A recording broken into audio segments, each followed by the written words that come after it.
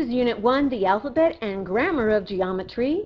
Lesson 1.4, inductive and deductive reasoning. Inductive and deductive reasoning.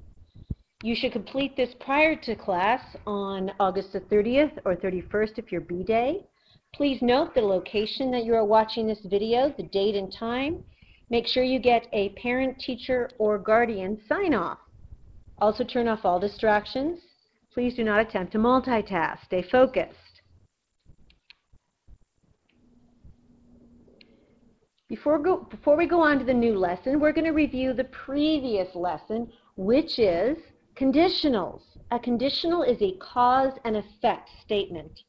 A conditional is something that has cause and then effect. So what I'd first like you to do is read this sentence and identify the cause and effect. You will keep the doctor away if you eat an apple a day. I'd like you to underline the cause and box the effect. Do this now. In this statement, the cause is if you eat an apple a day. The effect is you will keep the doctor away. You'll keep the doctor away if you eat an apple a day. So the conditional, if we write it as an if-then statement, should read like this. If you eat an apple a day, then you will keep the doctor away. Keywords here are, of course, if, apple, then,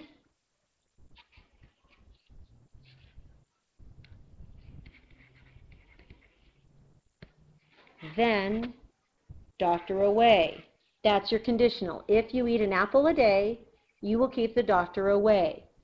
I'd like you to take a moment and attempt from memory to write the converse, the inverse, and the contrapositive. Go.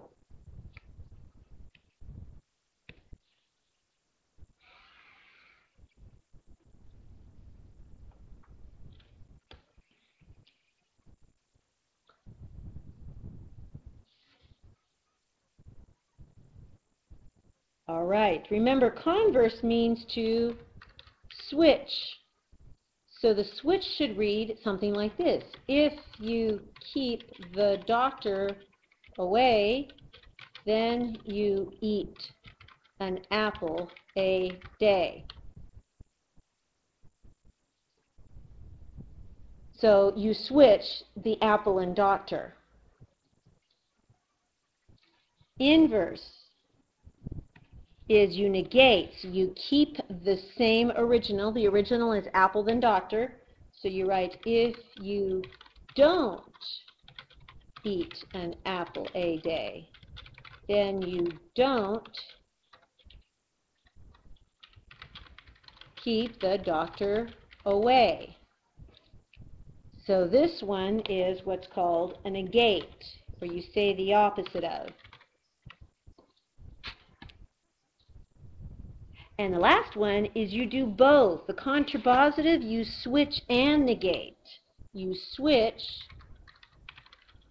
and negate. So this one you should have read the original as apple doctor. So you write, if you don't keep the doctor away, then you don't eat an apple a day. That would be the switch and negate. So you have conditional, if then, converse switch, inverse negate, contrapositive, switch, and negate. Now let's move on to some new logic rules. Today we're going to talk about inductive and deductive reasoning. Before you end today, you're going to know these terms. inductive, deductive, law of syllogism, law of detachment, law of contrapositive, then conjunctions and disjunctions. Let's take a close look at these pictures of golfers. Take a close look. These are all different pictures of famous golfers. If you golf, you'll probably recognize all of them. I only recognize a couple of them. Take a close look and ask yourself, in every picture, in every picture that you can see, what article of clothing is common to all of them? Look very closely. What do you notice? A common piece of clothing. You should notice that in all the pictures, every one of these golfers are wearing a hat. In fact, they're specifically wearing a baseball cap. So let's say you were to attend two, three hundred matches of pro golfers. And you followed every single one of them around. And every single time you saw a pro golfer, they walked onto the green wearing a baseball cap. After all of those observations, you might come to a conclusion. So let's say you knew nothing about professional golf attire. So to learn more, you decide to attend all the professional golf matches in a single year and observe very closely each golfer's outfit. After observing hundreds of professional golfers on the course, you conclude, conclude, after observation, so circle the word conclude, write the word observations, plural, after hundreds of observations, you conclude that if someone is a golfer, professional golfer, then he or she always wears a baseball cap on the course. Circle the word if and then. This, therefore, you come to the general conclusion that all professional golfers wear hats on the course. This is an example when you go from multiple observations to a generalized conclusion, this is an example of inductive reasoning. You take in observations, hundreds and hundreds of observations, hundreds and hundreds of observations, and you come to a general conclusion.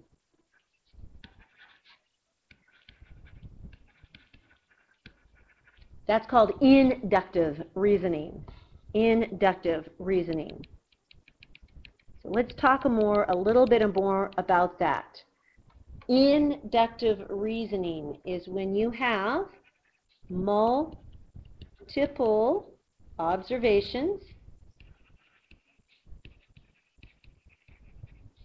In our case, we had multiple golfer observations, and then you come to a general truth,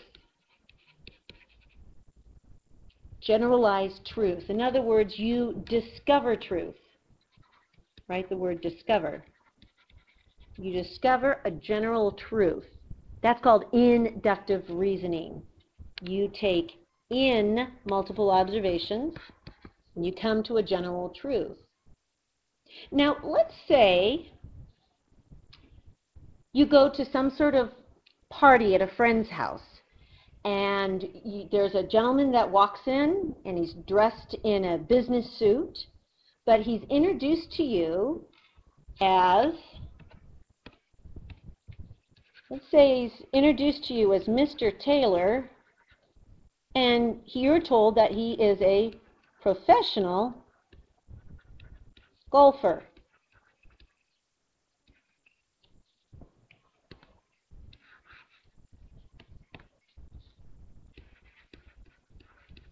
Now, so then you go, aha, I know something about professional golfers. I have a general truth. And when you apply that general truth to a specific situation, in other words, Mr. Taylor, the professional golfer, even though at that moment that golfer is not wearing a baseball cap because he's at a party, maybe he's in a business suit, some sort of business gathering, you can say, you can apply it to a specific situation. Mr. Taylor must wear a baseball cap on the green. That's called the application of truth. So in one, you discover a truth, the other, you apply a truth.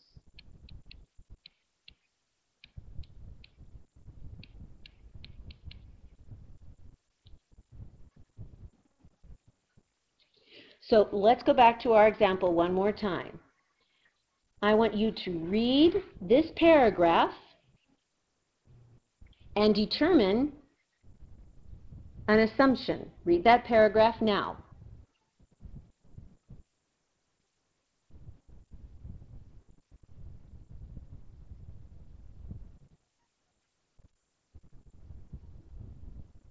So here you meet Mr. Vu, and even though at the restaurant Mr. Vu does not wear a baseball cap, if he tells you that he's a professional golfer, because of our deductive reasoning, we are going to assume that he wears a baseball cap when he's on the golfing green. That is an example of deductive reasoning. So in deductive reasoning, we discover truth. Uh, inductive reasoning, we discover truth. Deductive reasoning, we apply truth to a specific situation, in this case, Mr. Tin Vu.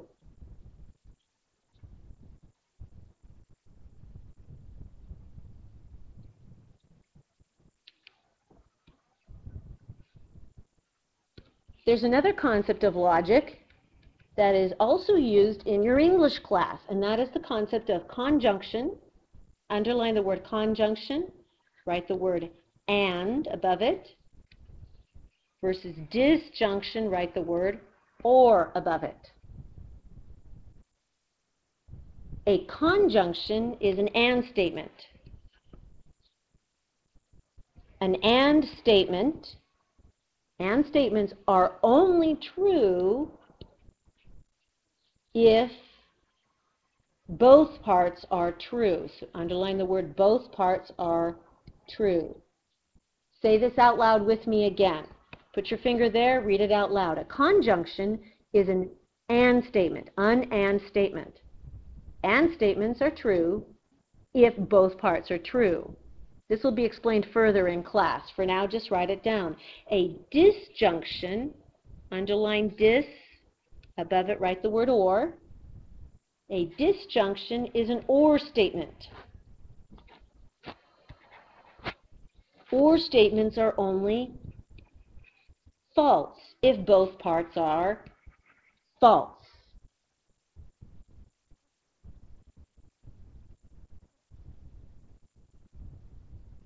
A disjunction is an or statement. Or statements are only false if both parts are false.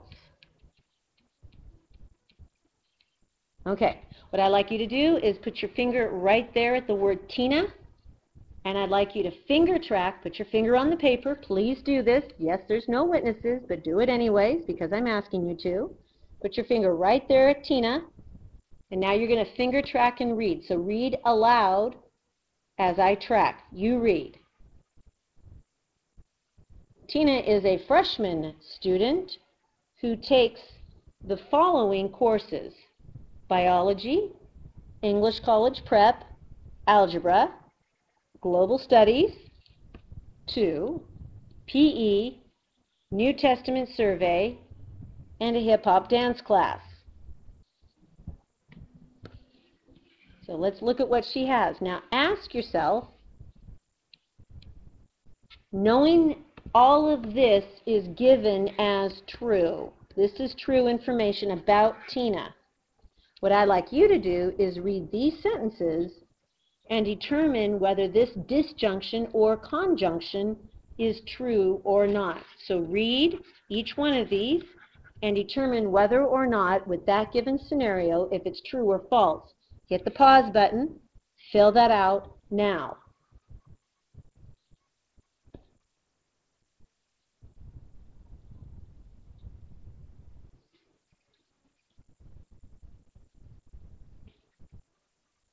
Okay, let's check your work. It says Tina is taking a biology class and geometry. Because this is and, both must be true in order for this to be true. So let's see. She is taking biology,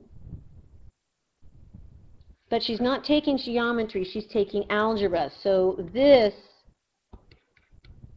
is a false statement because the geometry, this is a true and false. Therefore, since it's a conjunction, a conjunction is true only if both parts are true. So this would be considered overall a false statement. Let's try another one. Tina is taking algebra and biology. Let's see, algebra. There's algebra. That's true. And biology circle biology. That's true as well. And this is an and statement. In an and statement, both parts must be true in order for the whole thing to be true. We have two truths in an and, so this whole thing is true.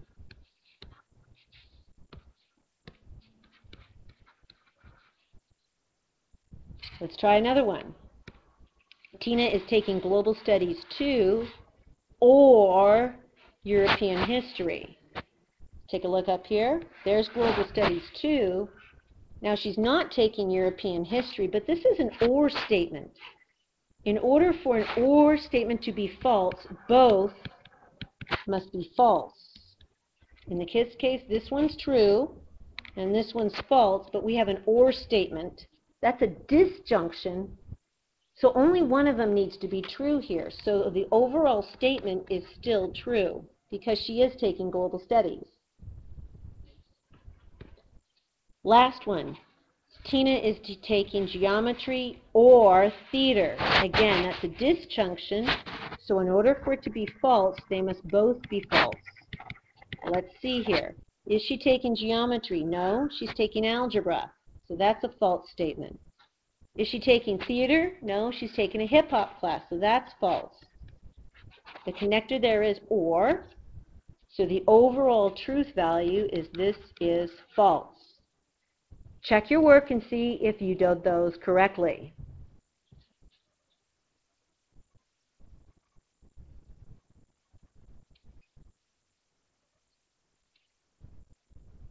Now I'm going to teach you three laws of logic. Three laws of logic. Those laws are, the first law we're going to talk about is the law of contrapositive. The second law we're going to talk about is called the law of detachment. And the third law we're going to talk about is the law of syllogism.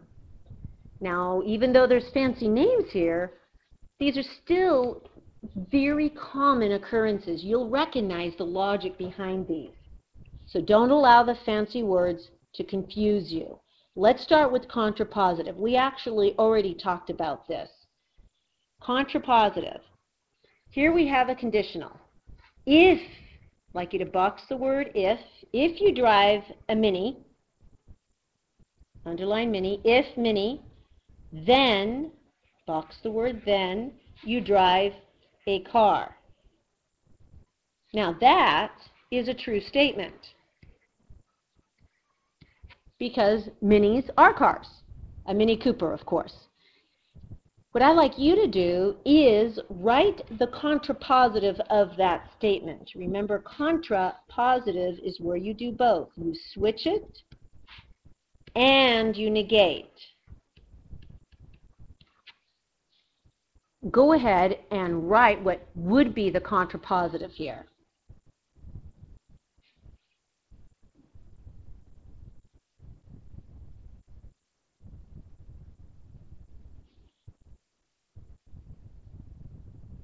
Okay, let's take a look. This one says, first, we now start with car. We have to switch then we have to negate it as well. So if we don't drive a car, if you don't drive a car at all, then you don't drive a Mini Cooper. Now think about that. If you don't drive a car, then you don't drive a Mini Cooper. Is that a true statement? And the answer is yes, because if you don't drive a car, then of course you don't drive a Mini Cooper, because a Mini Cooper is a car. So this is the first law here. We're going to use symbols, and I'm going to use uh, P and Q to replace the words, just like you in algebra, we replace a number, let's say 12, with the variable x. We replace x stands for numbers. In this logic rule, we're going to replace words with the variables PQ. Why PQ? No clue. Someone long time ago decided to use P and Q as variables just like we use X for numbers and that's what stuck. So the symbols look like this. If P then Q, that's a conditional statement, is true.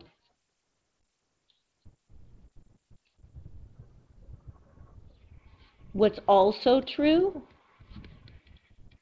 is the contrapositive, where you switch and negate. So first you switch, we say Q, then P, and then we use this symbol to mean the opposite of. That means the opposite of Q and the opposite of P is also true. That's called the law of contrapositive. If P then Q is true, then the switch and negate, or the contrapositive, is also a true statement. That's called the law of contrapositive.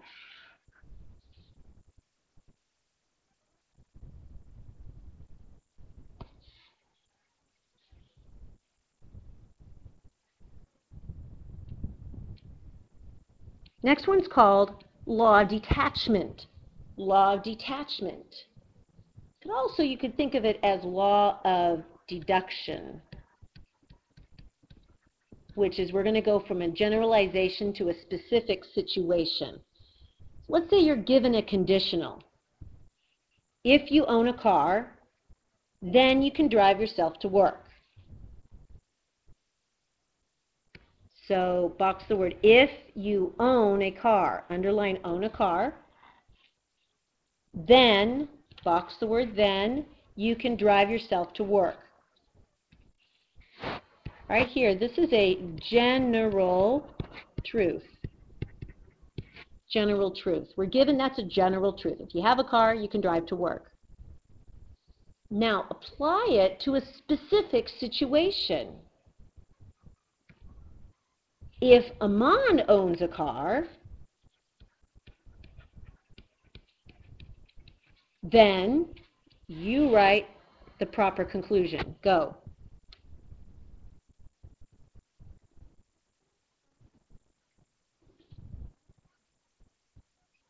You should have written something like, if Aman, um, if Aman owns a car, then Aman can drive himself to work. The symbols we would use for this is this. We would say if P then Q is true and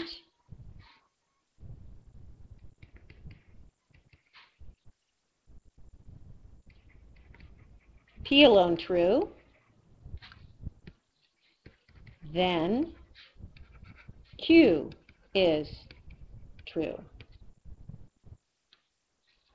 If the conditional if P then Q is true, and P is true, then Q is true.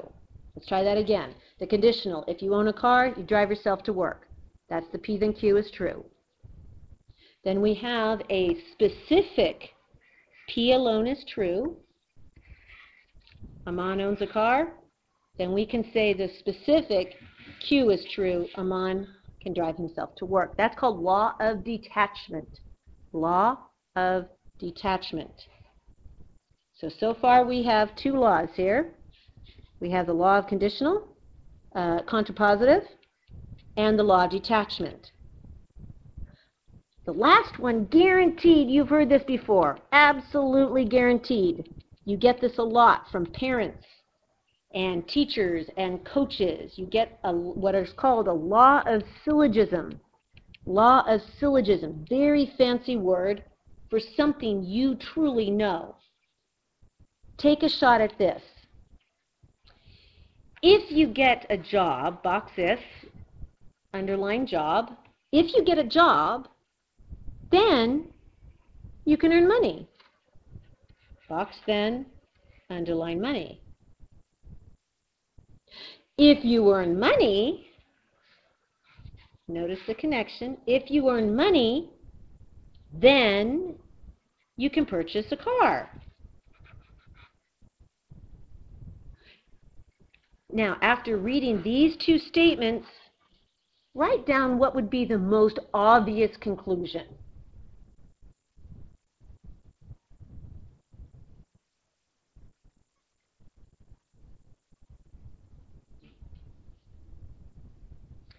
You should have connected the fact job then car. That's called a law of syllogism.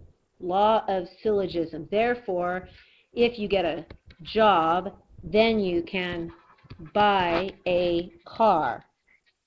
You connect first to second, second to third, then you can connect the first to the third. That's called law of syllogism. The symbols are going to look like this. If P, then Q is true, and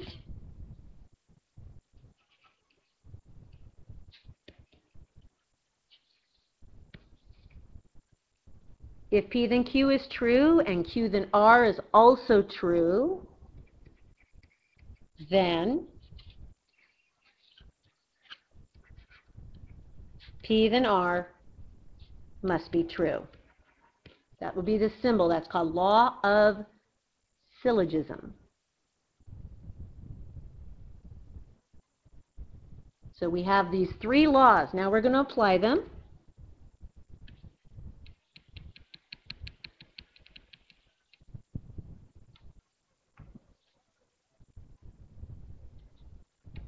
Now this is going to get a little tricky, so be patient. Okay, it says assume assume the given statement is true, then determine which of the subsequent statements must also be true. And that's according to the laws that you have learned. The law of contrapositive, the law of detachment,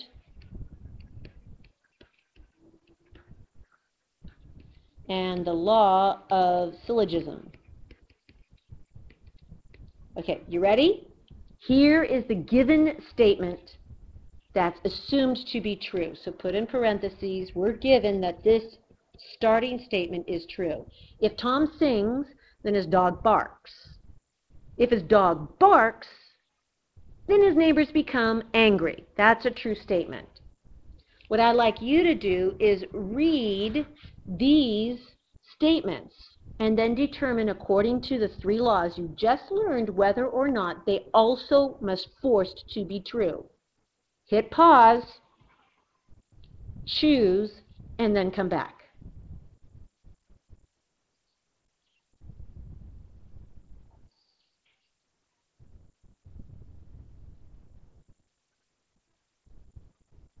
All right, let's check this out. It says here, if I'm going to use colors here.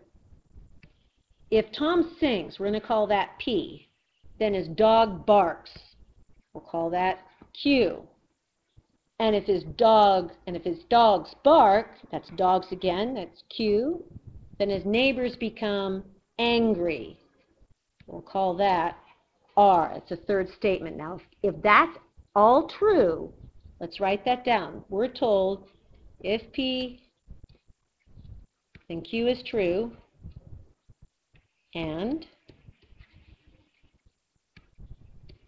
if Q then R is true, according to this statement, what else must be true? Okay, first statement, if the dog barks, then Tom sings. Let's see what happened here. We're told sing, then bark is true. What we have here is bark, then sing. That is just the converse. And in our laws of logic, the converse is not forced to be true, only the contrapositive. So this should have been marked false because it's not always going to be true. Only the contrapositive is true. Hmm. Let's see what else. It says, if the neighbors do not become angry, then the dog does not bark. Okay, the neighbors was R. Dog does not bark is Q. And notice that we've negated both of them. So we have opposite R, then opposite Q. Take a close look.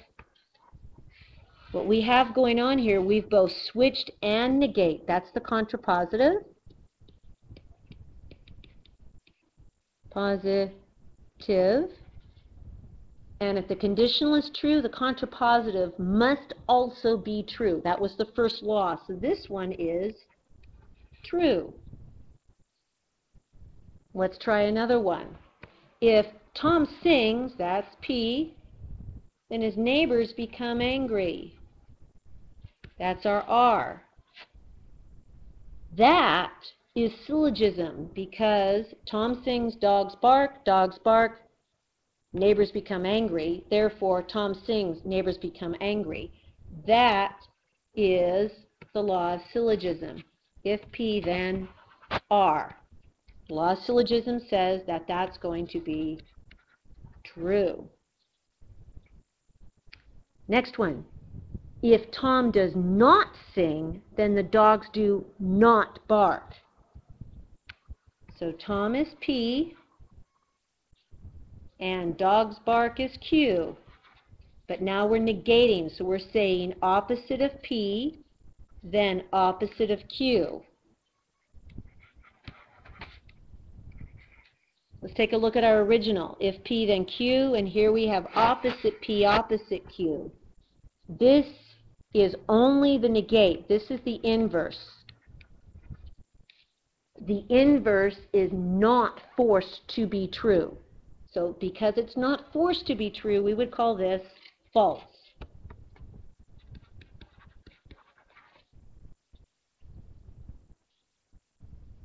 Next statement says, neighbors are angry. It's just R all by itself. Because Q all by itself, dog's bark is not mentioned, this would be false. Let's try this one. We'll do more of these in class. This may be really confusing right now. Just kind of go along with the flow. Let's do the last one together. Dog's bark is Q. Tom sing is P. But notice if the dog does not bark, it's opposite Q. Then Tom did not sing opposite P. Look really close. We are given if P then Q is true. That's our conditional. Notice that what we've done here, we've both done the switch and negate. That's the contrapositive. Contrapositive. And we were told the law of contrapositive says that